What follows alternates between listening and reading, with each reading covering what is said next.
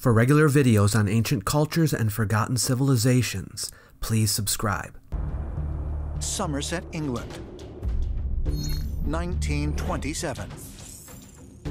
49 year old artist Katharine Maltwood has been commissioned to draw a map outlining the adventures of the knights of King Arthur.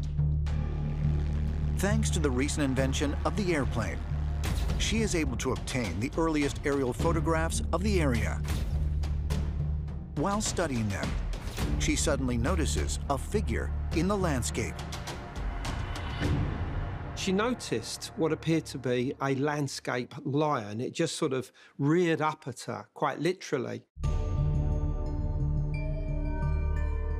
And she examined this and wondered whether this was the Leo figure of the zodiac. Then she saw next to it this large, giant figure, which she felt was part of some kind of collective of landscape effigies that had been laid down by ancient hands. And one by one, she found that they actually represented the 12 signs of the zodiac. Glastonbury Zodiac is so large that you can only really see it from the sky. These zodiac signs are marked by rivers, streams, roads, field boundaries. The shapes look so much like man-made features that Maltwood published a book about them and called it The Temple of the Stars.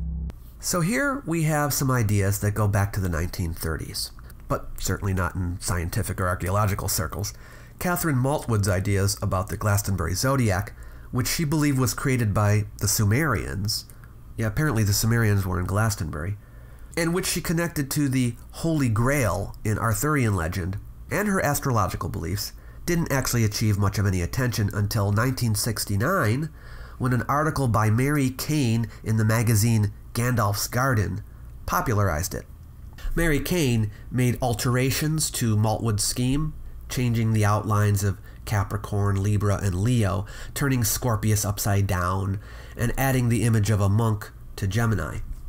Then from there, it made its way into ancient astronaut suppositions, which rejected Maltwood's Sumerian dating and pushed the Glastonbury zodiac back into the early Stone Age. There are three main weaknesses in the Glastonbury zodiac hypothesis. The first is one that you may be thinking of already, and which I mentioned at the beginning of the video. Just as anyone can look up into the sky at a group of stars and note how they resemble a shape meaningful to the onlooker, so the same can be done with lines and dots seen in an aerial view of a landscape. Anyone can see patterns in random objects. In fact, it's a human propensity. And the shapes that are seen depend on the cultural expectations of the viewer. Hey, look at that! It's SpongeBob. And here's Patrick. And Mr. Krabs. I'm sure you see my point. It's a Rorschach test. Images extracted in this way do not exist objectively, but merely in the minds of those who see them. Second, the shapes do not, in fact, match all that well with the signs of the zodiac. In the zodiac, Cancer is not a ship, Libra is not a dove, and Aquarius is not a phoenix. The third weakness in the hypothesis is fatal.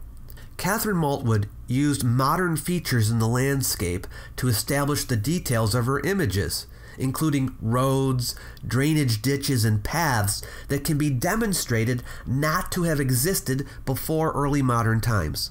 She even used signs of agricultural activity in her own time, including a haystack, which she saw as the Eye of Capricornus. Paths dating back to Neolithic times do exist here, but none of them were used in Maltwood's outlines of the constellations. While it was received with much skepticism, proponents say there is ample evidence around the region to suggest these formations have been created by artificial means, and that almost every field and hill in the area has been modified in some way. One of the most important ones is called Ponter's Ball. Now this is a large, mile-long, pointed earthwork, which is exactly where the Capricorn effigy's horn is in the zodiac. Ponter's Ball is a linear earthwork about 15 feet high that was built either as a territorial boundary or as a dike when this was swampland. Some archaeologists have dated it to the 3rd century BCE. Others have proposed a medieval date in the 12th century. I've seen no evidence presented to suggest it comes from the Stone Age.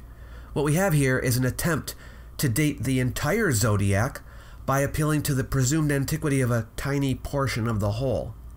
Since it's already been established that Maltwood's zodiac effigies incorporate elements from many different time periods, a Stone Age horn for Capricornus, even if definitively demonstrated, would do nothing to unify the date for the creation of all the signs.